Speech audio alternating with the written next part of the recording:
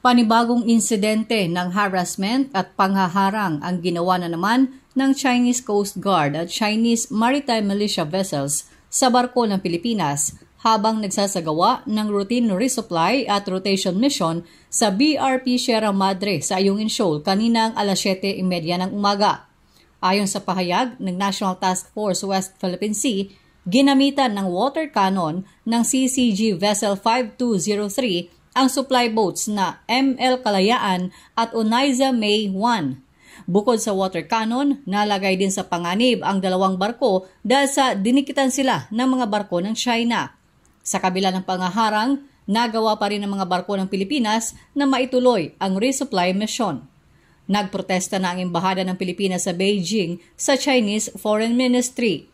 Maging ang Department of Foreign Affairs ay nakipag-ugnayan na rin sa China sa pamamagitan ng Maritime Communications Mechanism para ipahayag ang pagkadismaya.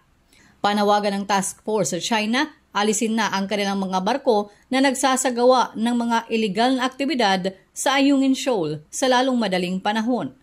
Kinundina ng Pilipinas sa panibagong insidente kung saan nalagay na naman sa panganib ang buhay ng mga Filipino.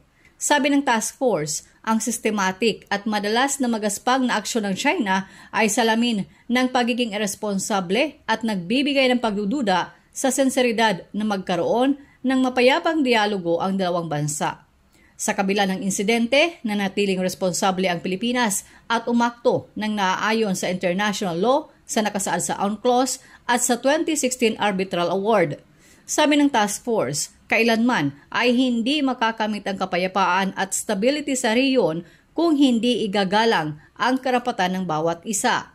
Sinaluduhan naman ni Pangulong Marcos ang mga tauhan ng Philippine Navy at Philippine Coast Guard dahil sa patuloy na pagtupad sa tungkulin at sa pagsusugal sa buhay, masiguro lamang na maprotektahan ang Pilipinas. Sabi ni Pangulong Marcos, hindi magpapatinag ang Pilipinas na igiit ang legal rights sa maritime zone, lalo na sa Ayungin Shoal na bahagi ng Exclusive Economic Zone at Continental Shelf.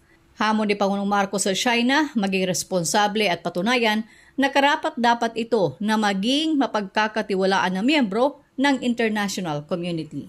Chona Yu, Radyo Inquirer, Bayang Nagtatanong, Mamamayang Nag-uusisa.